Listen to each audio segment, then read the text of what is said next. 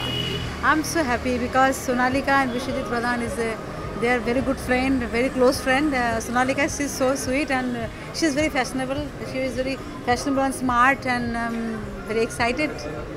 I hope it will be great. Last time I also was a part of that. I wore a gown. I was as a singer. I was like, oh. oh, you worked for Sonalika yes, before? yes, yes, yes. How was the experience? Very good, uh, beautiful. It's a new experience, but it's good. How fashionable are you since it's a fashion event? Yeah, you see my haircut and everything. I like all this.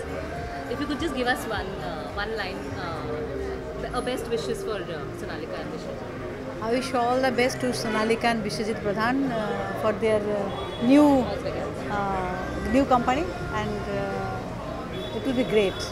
I believe that. Thank you.